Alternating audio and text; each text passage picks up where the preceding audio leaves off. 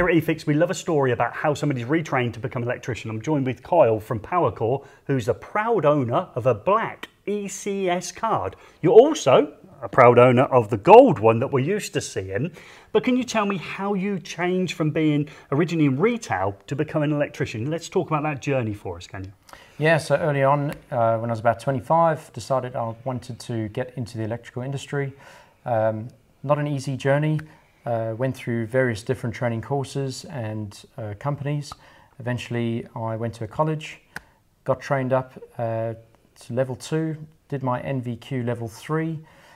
That allowed me to get a gold card, and then once I was in the industry, I did my triple STS, and I have had enough experience with the with the gold card.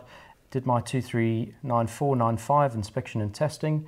That allowed me minimum requirements to get a black card. Okay, black, not gold. I'm, desperate to say gold card, so it's a black card. Now, that process, so at 25, you left your job and you were taken on by Powercor, who like to take on the slightly older person looking to retrain as well as young apprentices. I think you said you've got five on at the moment, apprentices, at yes. probably that age of about 16. Now, that's only a 10 year journey, and you seem to have done a lot of things in 10 years in order to be effectively running a team now, is that correct? Correct. Yes, so I've been given a lot of opportunities at Powercor. Um, they're very keen on training uh, personnel up and giving opportunities in various fields. Uh, when they see somebody that's excited in the industry and they want to learn, they're happy to help you along on that journey. So let's unpack that qualification. So at 25, you got a job with Powercor and they sent you to college to do a level two, is that correct?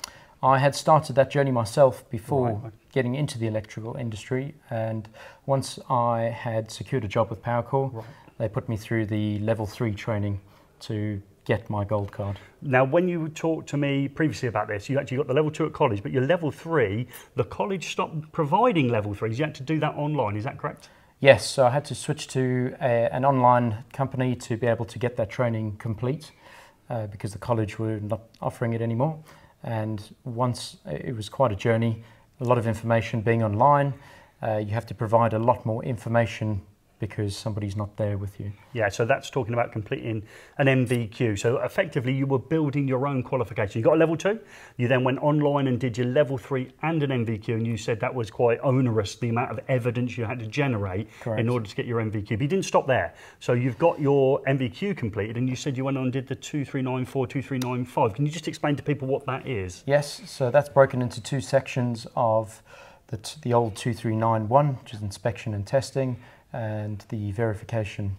So when I completed those two, that gave me my inspection and testing.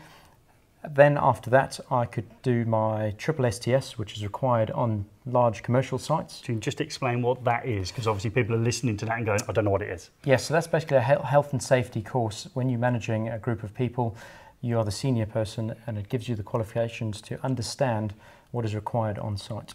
Okay, so that's an additional qualification. And all these little additional qualifications you got, were you aware that you could go and get a black card? Was that something you were aiming for? You obviously had a gold card. Was that the, the journey that you were taking? Initially, no. But once I had all the qualifications, uh, it was made clear to me that I could apply for a black card.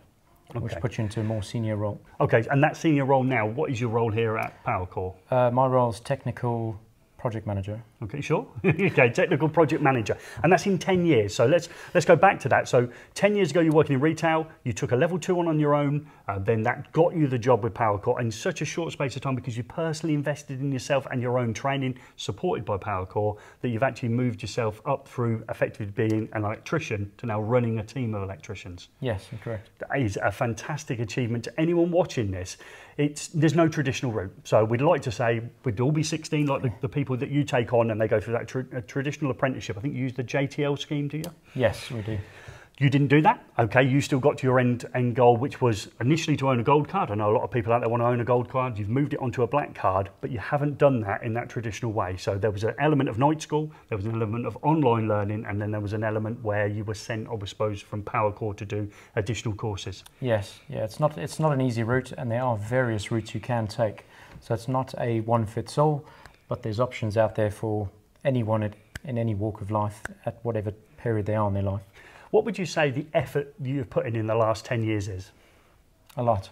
Yeah, you've said off camera, you, you've properly thrown yourself into this, haven't you? Yes.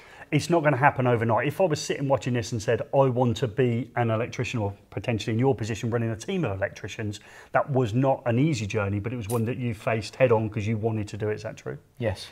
Okay, so out there, we're always interested in your stories. Have you become an electrician using a slightly different route, as Kyle has today? Have you got a black card, something that I didn't know existed until about half an hour ago? We'd love those comments below, and we'll try and get back to as many as we can.